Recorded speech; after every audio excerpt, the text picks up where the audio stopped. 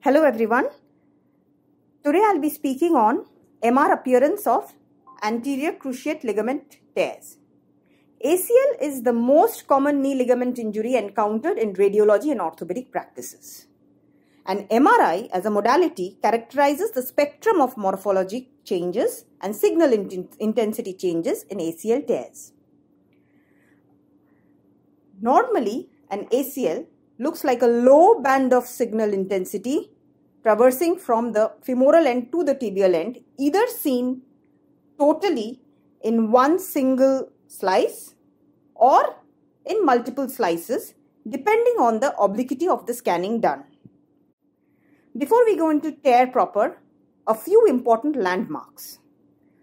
The Blumensaat line courses parallel to the roof of the intercondylar notch along the posterior surface of the femur. The Blumensaat angle is formed by this Blumensaat line and a line along the margin including the distal portion of the ACL. A negative or a normal Blumensaat angle occurs when the apex of the angle is directed superiorly as we see here in a normal ACL whereas a positive or abnormal Blumensaat angle occurs when the apex of the angle is directed inferiorly. Another thing we have to remember, the ACL normally hugs the lateral wall of the femoral notch in the lateral femoral condyle. It is very important to know that ACL tear has to be read in all sequences, coronal, sagittal, axial planes to give a complete idea about the ACL tear. Coming to mechanism of injury, basically ACL tears form a very important component of sports injuries. They may be due to pivot shift injury, where there is a valgus load, flexion, and external rotation of the tibia, commonly associated with ACL rupture and lateral compartment contusions. They may be due to dashboard injury, where force is applied anterior to the anterior proximal tibia with knee inflection. And finally, a hyperextension injury, where direct force is applied to the anterior tibia with a planted foot. Classically, the kissing contusions of the anterior femoral condyle anterior tibial plateau are seen in hyperextension injuries. Coming to grading of tear. There are basically three grades. We call it a grade 1 injury when there is intraligamentous injury with an edematous ACL, no change in ligament length because the fibers are intact. In a grade 2 tear, there is intraligamentous injury with a change in ligament length. Usually they are partial tears. And finally, grade 3 tears is when we call it and we see a complete ligamentous disruption.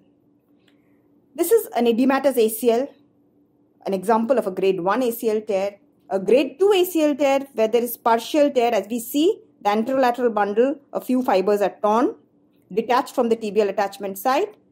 And finally, here there is complete disruption of the ACL as seen. So when we call types of tear, we can describe the ACL tears as acute, hyperacute, chronic, depending on the chronicity. It can be a partial tear, it can be a complete tear, or it can be an avulsion tear either from the femoral attachment or the tibial attachment. Now coming to the MRI signs of ACL tear. Primary signs of ACL tear are basically three.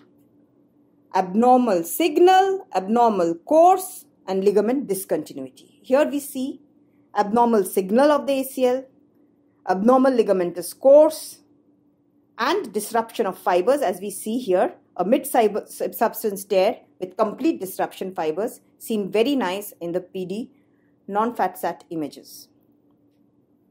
Coming to the secondary signs, the secondary signs of ACL tear are bone contusions. Now, depending, as I had told you earlier, depending on the mechanism of injury, the contusion pattern will differ.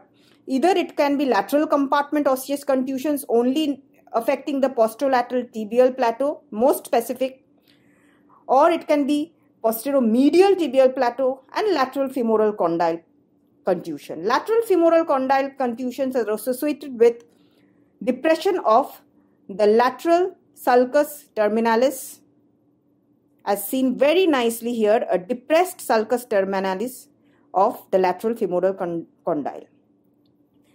Other secondary signs are anterior tibial translation, assessed in the lateral aspect of the lateral compartment, more than 7 millimeters, buckled PCL, abnormal angulation of the PCL because of the lax ACL, and uncovered posterior horn of lateral meniscus.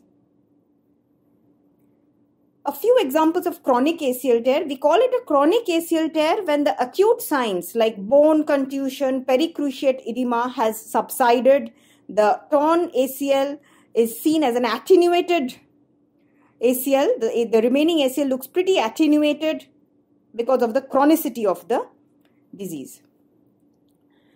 Coming to partial tears, the partial tears usually are seen as partial tear of the anteromedial bundle, as we see in this case. A posterolateral bundle tears, on the other hand, has to be seen in all imaging planes. This is a, a case of posterolateral bundle tear where we see a gap between the dark signal intensity of the ACL and the lateral femoral condyle. This is called a gap sign. Normally, there is supposed to be no gap and the um, ACL is supposed to completely hug the lateral femoral condyle. Another sign is what is called the fingerprint signs. Norm normally, the tibial attachment is supposed to span along the entire area of the interspinous region of the tibial attachment. But if we find a gap in the lateral aspect, that kind of indicates a posterolateral bundle tear and often known as the fingerprint sign. A little about mucoid degeneration of ACL. The ACL, due to degeneration, takes an appearance like this with a celery stalk appearance, often associated with ganglion cysts. We have to take a history of an injury and we should not mm, mistake an, a mucoid degeneration ACL for an intrasubstance tear. Uh, in short, about ACL stumps. ACL stumps are usually of two types. A type 1 stump is when the displaced ACL after tear falls as a nodular mass in the anterior aspect of the intercondylar notch. Whereas type 2 ACL stumps demonstrate a discrete well-defined tongue-like extension of the stump associated with angulation. The longer the ACL after tearing, depends on that the type of stump. That means in case of type 2 stumps, the tear is more towards the femoral attachment leading to a longer length of the stump so that it has the capacity of angulating and falling anteriorly. We have to remember one thing, the type 1 stumps often are associated with fibrosis at the free end of the stump, creating a bulbous configuration susceptible to anterior recess entrapment forming what is called the cyclops lesion. This is the importance of the stumps.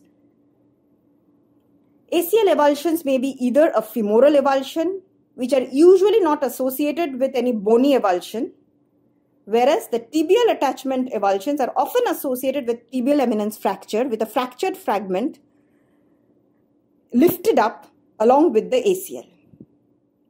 So to conclude, MRI for ACL tears have 90.9% sensitivity, 84.6% specificity, which indicates that it is a very good modality to rule out ACL tears. Radiologists can give a very clear depiction of the characteristic of the ACL tear, the type of the tear, the chronicity. Basically, you have to remember that ACL tear is a clinical diagnosis. What the orthopedic surgeon wants from the radiologist is to confirm or document the tear, give an idea about the chronicity of the tear, and also to look for any other associated injuries, for example, meniscal tears, medial collateral ligament tears, and thus give a clear picture of this internal derangement of the knee. Thank you.